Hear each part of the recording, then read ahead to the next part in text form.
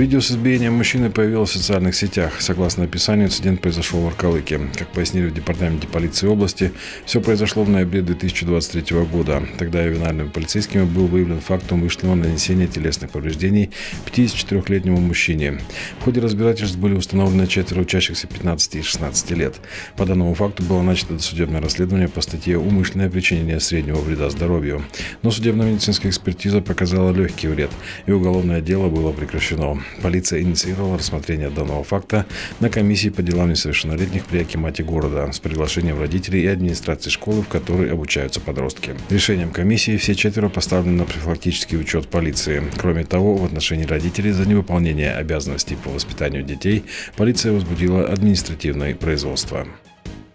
58 преступников установлены и задержаны оперативными службами МВД и его подразделениями с начала года. В их числе разыскиваемые за тяжкие и особо тяжкие преступления.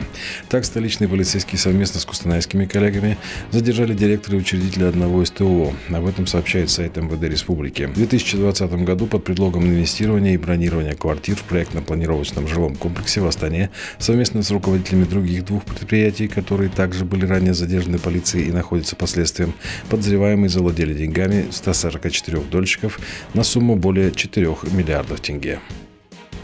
Крупнейшая сеть незаконных онлайн-казино, действовавших под видом лотерейных клубов, ликвидирована 13 января Министерством внутренних дел совместно с Комитетом национальной безопасности при координации Генеральной прокуратуры. В проведении масштабных совместных спецопераций было задействовано более трех тысяч сотрудников спецслужб. По данным МВД, в орбите оперативной разработки находились представители криминалитета, которые оказывали преступное влияние и покровительство игорным заведениям, а также совершали преступления в отношении сотрудников и клиентов лотоклубов. Кроме этого, были зафиксированы факты сводничества количества и употребления наркотиков. В ходе спецоперации в полицию доставлено свыше 400 человек. Задержано 8 основных организаторов преступной схемы. По всей стране проведено 570 обысков в помещениях и офисах лото-клубов. Изъято 23 единицы огнестрельного и травматического оружия, 247 миллионов тенге, 55 миллионов российских рублей, 127 тысяч долларов США. В результате пресечена деятельность 326 лото-клубов по всей стране. До судебного расследования установлено, что ежемесячная совокупная прибыль лото-клубов только одного региона в среднем составляла 300 миллионов тенге. Соответственно, со всех регионов страны порядка 6 миллиардов.